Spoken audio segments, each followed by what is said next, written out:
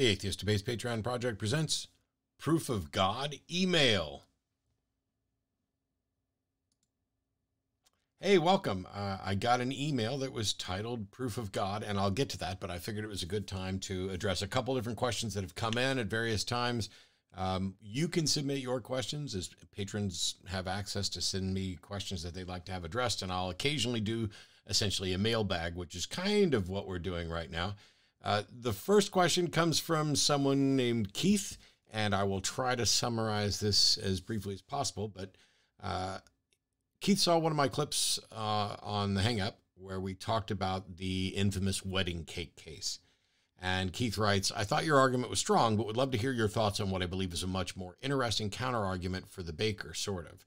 In the majority of businesses open to the public, case made against the baker stands strong. I agree that ideally all businesses open to the public should not be allowed to discriminate against customers based on race, religion, sexual preference, gender identity, etc.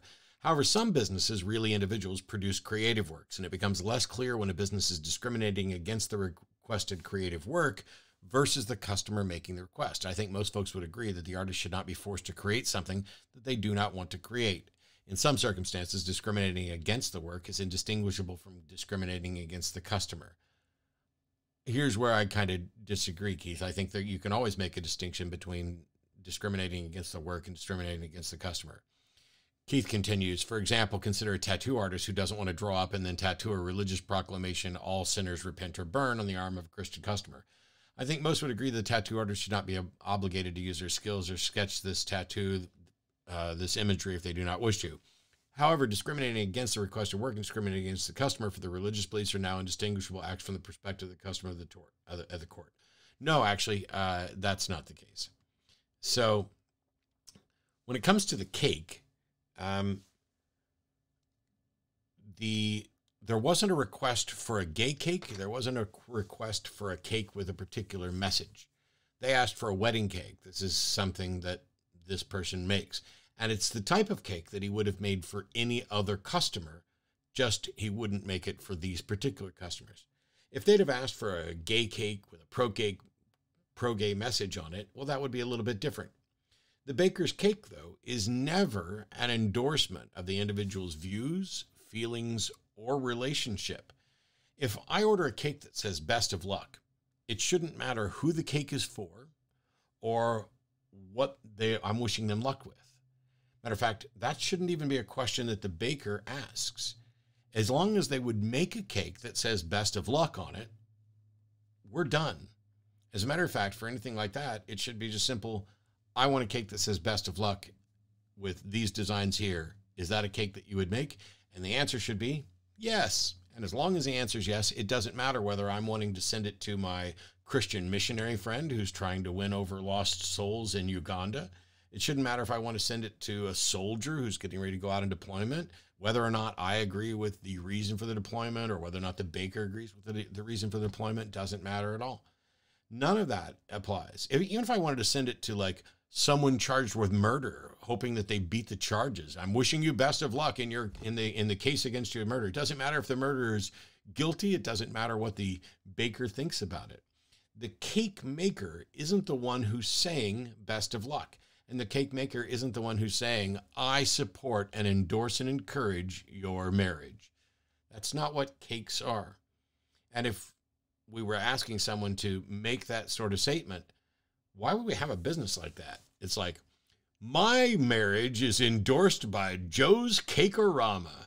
Here's the cake to prove it that's, that's absolutely ridiculous. When we go to the Atheist Experience and Non-Prophets and all those other shows that are produced by the Atheist Experience Network, there's normally a statement there that says the views and opinions expressed by the host are not necessarily those of the atheist community of Austin.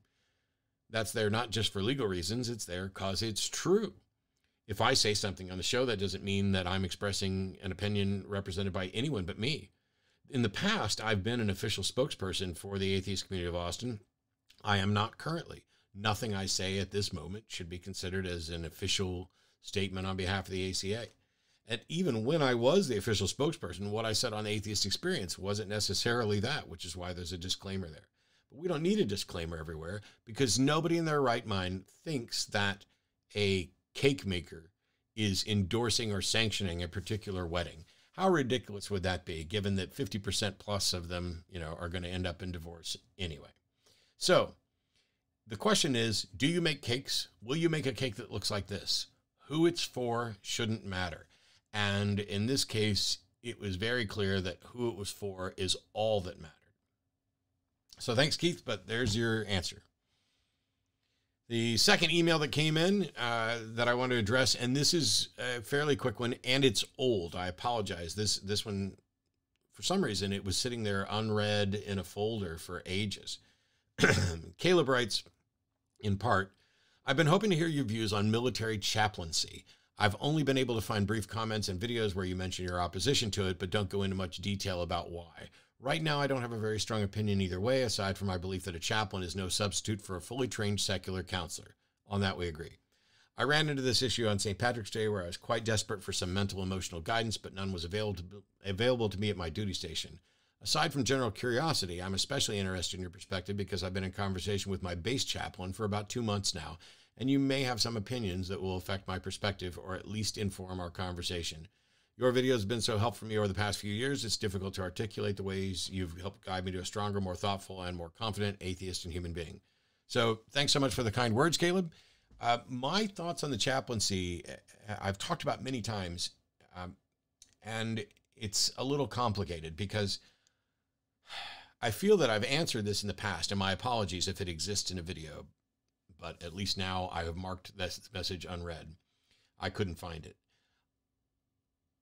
Chaplains should exist in the military as long as we are deploying voluntary service people away from their church communities.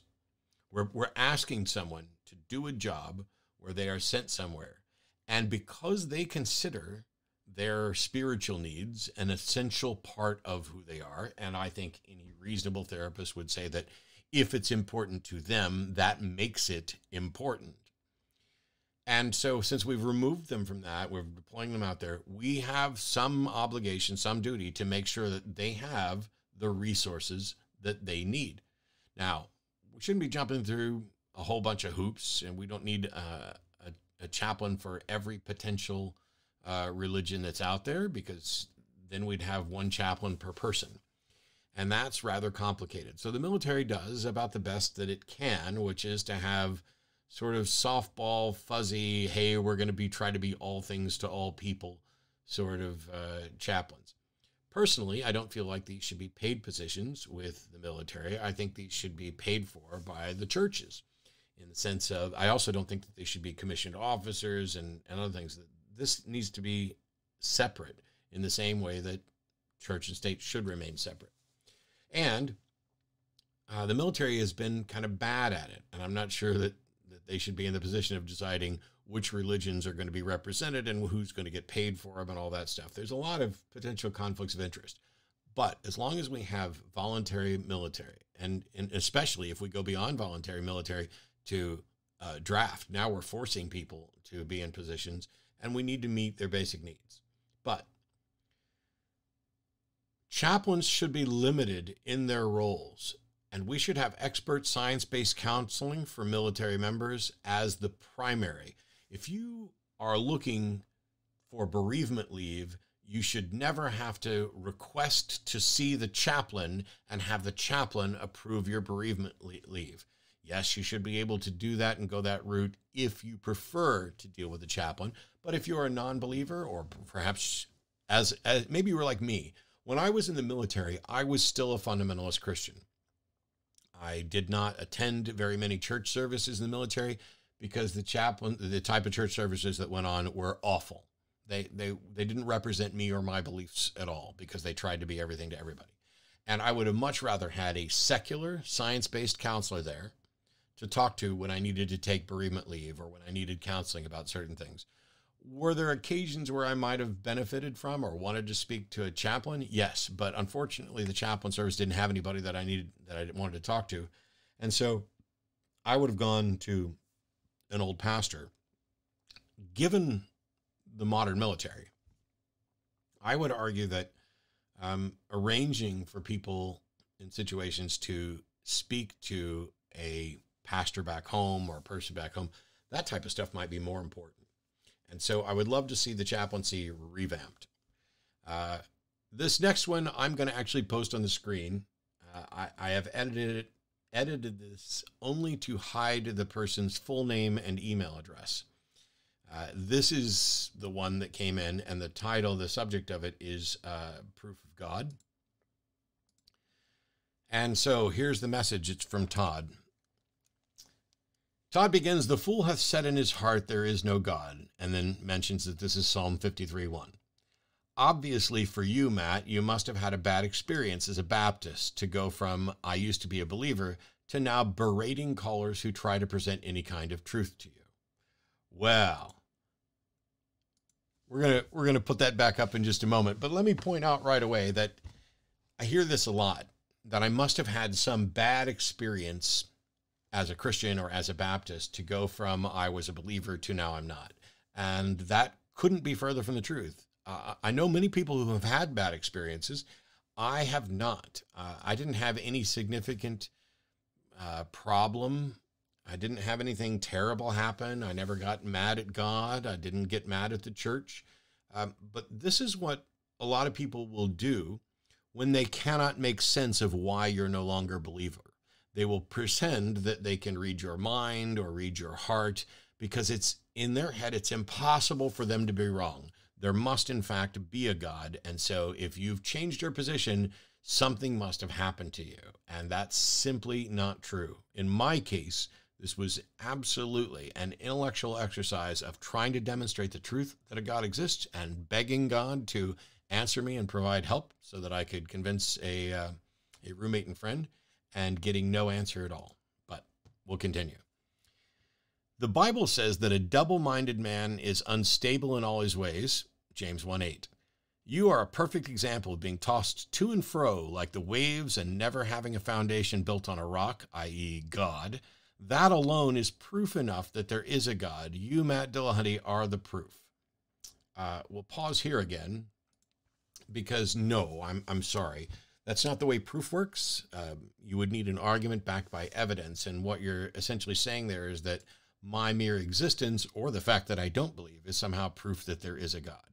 Um, that's not the way any of this works. And I've addressed it so many times, I don't want to dig into it here. I just want to keep going because uh, it's not going to surprise you. There's no proof in this email. There's not even really an argument much at all.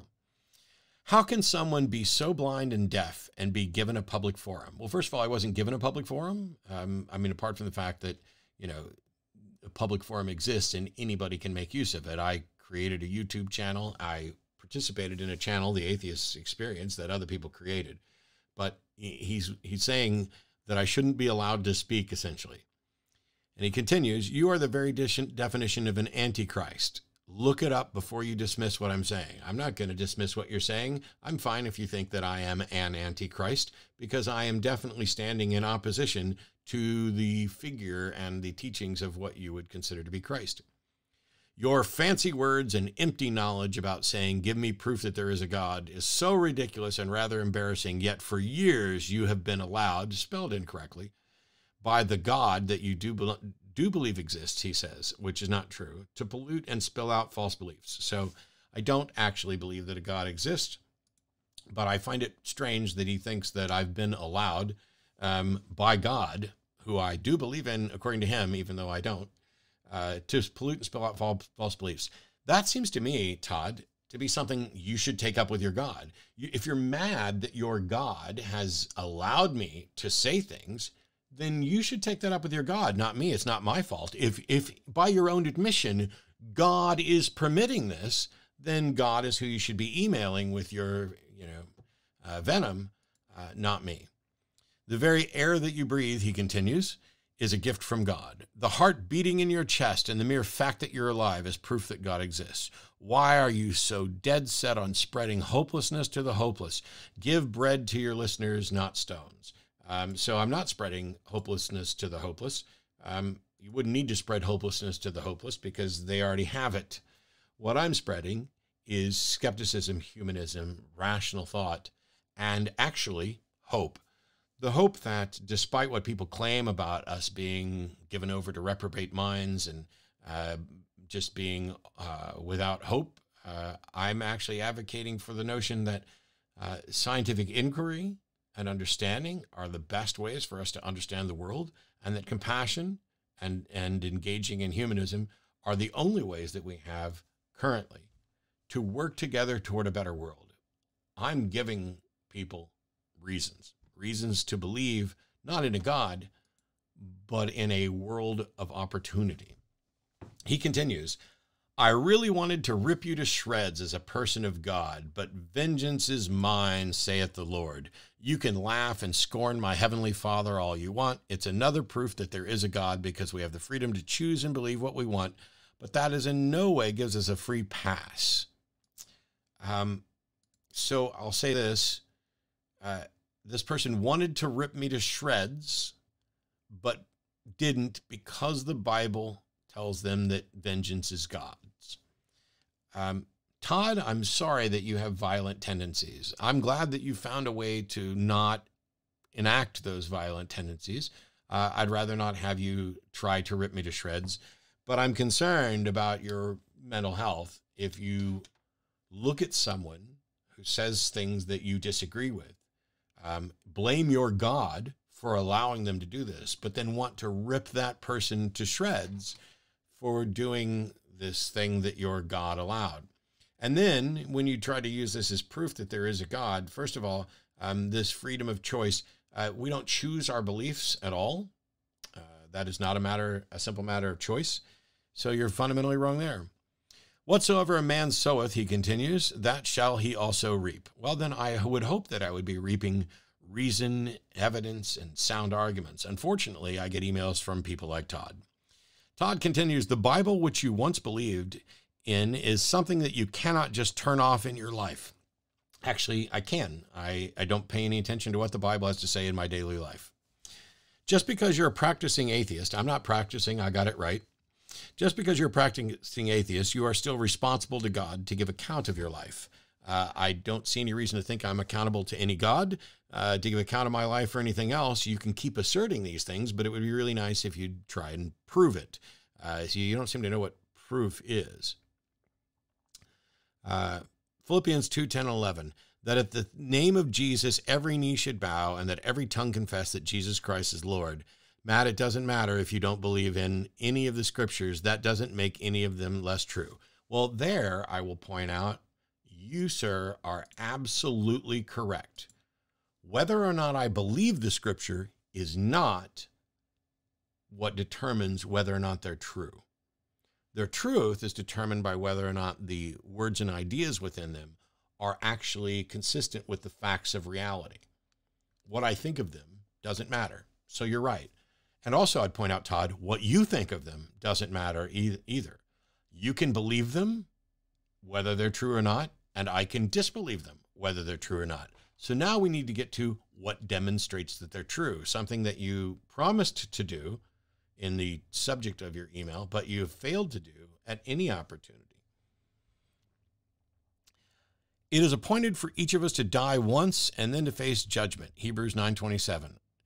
God hates sin and calls all men to repentance. But I need to tell you, Matt, that unless you change your ways and thoughts and lies about what about without tangible proof there is no God, you will and are living in a very dangerous place with God. Just because you need proof to believe life Thomas did when the Lord rose from the dead doesn't mean Jesus didn't rise on the third day. God will not be mocked. Um, so once again, he gets something right in that, you know, doubting Thomas doesn't mean that Jesus didn't rise on the third day. And my doubts don't mean that Jesus didn't rise on the third day. But also, Todd's belief that Jesus rose on the third day doesn't mean it happened either. You have to actually present evidence for that. But when he says God will not be mocked, Todd just completely disproved his entire email and case because God absolutely will be mocked. I'll mock God left and right. As a matter of fact, you're writing me, Todd, to complain that God is allowing me to mock him. You, you, the whole point of this is that you're mad that I'm willing and able to mock your God, and you suggest that it's God's fault. God is allowing me to mock him. And now later on in your own email, which is supposed to be a proof, you contradict yourself when you say that God will not be mocked. He will absolutely be mocked. Screw God, screw your God, screw every God. If I was even remotely scared that your God could give me so much as a hangnail, uh, I, I would have to give all this up. This is this is a nothing burger. But when you say God will not be mocked, that's clearly false. God hates the sinner whose heart is full of anger and bitterness. Uh, I, I reject the notion of sin, and my heart's not full of anger and bitterness, but which I heard in your voice as you were swearing and taking the Lord's name in vain as a caller was trying to state his viewpoint. Ah, you heard it in my voice. Well, stop reading between the lines. Your pride will be your undoing. God will only allow sin in anyone's life to go on for just so long. Well, um, I'm 52. Um, I've been hosting a show for 16 years, mocking your God, demonstrating my pride and extolling my sin showing everybody what my sin is. Uh, clearly, God doesn't have any interest in stopping me yet, and He doesn't have any interest in coming to your aid and presenting you with reasoned arguments. Todd continues, Repent and be baptized, every one of you, in the name of Jesus Christ for the remission of sins, and ye shall receive the gift of the Holy Ghost. Acts 2.38. Jesus said, But whoever causes one of these little ones who believes in me to sin, it would be better for him to have a great millstone fastened around his neck and to be drowned in the depths of the sea. Matthew 18.6. And fear not them that kill the body, but rather fear him that is able, able to destroy both soul and body, excuse me, in hell. Matthew 10.28. Matt, instead of saying, show me proof that there is a God, you should be saying, show me proof that there isn't a God. Todd. So Todd sends an email that says, the proof that there is a God utterly fails to present any proof that there is a God, winds up contradicting himself, blames his God for me and allowing me to do all this stuff, and then ends it by shifting the burden of proof to suggest that instead of asking for proof of God, I should be asking for proof that there is no God. Well, Todd, I'm sorry that nobody's ever explained to you how the burden of proof works and how, if we were to operate under your burden of proof, we would be required to believe in all of the gods until they had been disproved. And so, if we use your model of waiting until you prove that there is no God, you would have to believe in Allah and Jesus and Yahweh and um, all of the various gods from all of the various religions, Ganesh, uh, I'm not even going to bother continuing to list them. That's what would have to happen under your model of the burden of proof, which is why I'm much happier using my model, which is I'm going to reserve judgment on whether or not something exists until there's sufficient reason to reach that conclusion. When it comes to the notion that there's a God existing somewhere outside of space and time, who's a governor of everything and a creator of everything, who cares who I have sex with and what my life is like, there isn't sufficient evidence to reach that conclusion. And you, Todd, have utterly failed, failed to pre present any, despite the fact that you tried to claim that my mere existence is proof of God. Our education system has failed Todd, and it's failed many other people. We allow, and we should allow, free speech, free expression, freedom of religion. And so the apologists and the evangelists who are sharing and spreading this notion of God, that God is just well, obviously true. The atheists are just silly. These are people who don't understand the basics of how we know what we know. These are the people who don't understand the basics of what we should believe and why. They don't understand skepticism, critical thinking, the nature of evidence, epistemology. They don't understand a syllogism. They don't understand a fallacy. They don't understand the significance of a fallacy. They don't understand that a fallacious argument doesn't mean the proposition is false. They don't understand where the burden of proof should rest. They don't understand that we don't freely choose our beliefs, just like, oh, I think I'll believe this today. I think I'll believe that today. They just don't understand anything of any significance or importance when it comes to the nature of belief and what is and should be believable. And that's why I get emails that say the proof of God that do the exact opposite. And so for each Christian out there who's watching this video, if thank you first of all for making it this far. I appreciate you reading through that. If that doesn't represent your views on Christianity, you can call one of the many, many shows I do, Atheist Experience, The Hang Up, whatever. But do yourself a favor, bring your A game. And if you don't have one, you should ask God what God wants you to say to me, because God clearly did not want Todd to say this to me. God clearly knew how to think. If God exists, he, he would know how to think more rationally and reasonably than Todd does. And so before you call, ask God what you should say. And then call in and tell me. Because if God tells you, I want you to say this to Matt, I want to hear it genuinely. Look at my face. If God has a message for me, I genuinely want to hear it. And it should be that God will give you the message that makes it clear to me that this message is coming from God. Because God can definitely convey, if He exists, a message that makes it clear to me that it's from Him. And if He can't do it through you, maybe His messengers should stop sending me messages and God can show up Himself. This happens over and over again. Thanks, everybody. We'll see you next time.